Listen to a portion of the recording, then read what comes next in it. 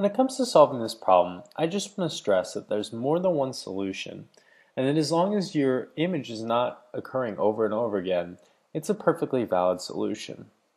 I'm going to show you one way to solve this problem, and to start with, I'm going to create a property in my header file, because we need to keep track of what the current random number is for our view. So we start with the first element in our array, which is uh, index 0, and that's because every time we load up our application, we're always loading up the first element in our array. After that, we want to know which current dog is on the screen so we don't re-show the same dog.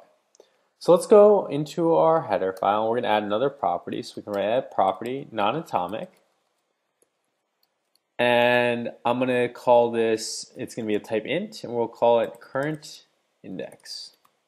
A property is very handy to use because we're able to access its variable name inside of any of the methods inside of mbfviewcontroller.m as well as the current index being persisted for as long as the view controller's lifecycle exists. So as long as we're showing this view on the screen, current index will be available to us.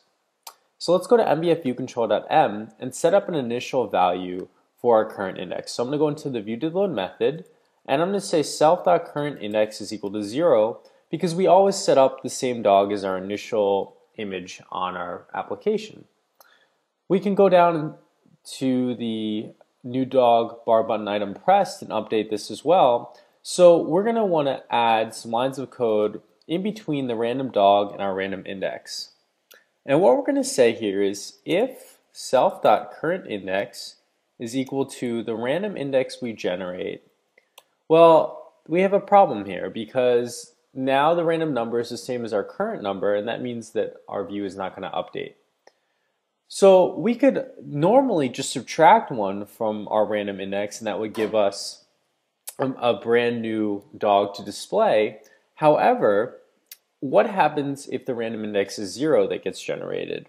Well, we can protect against that by adding a double ampersand and we can say self dot current index is equal to zero. So we say if our current index is equal to our random index and the current index is equal to zero, well, we should probably add one. So let's add random index plus plus, which is saying the same thing as random index is equal to random index plus one.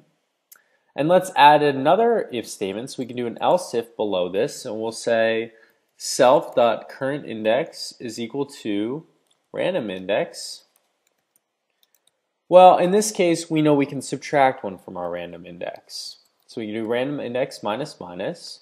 So now I can go ahead and run my application. And we'll see that each time we press the new dog button, a new dog generates.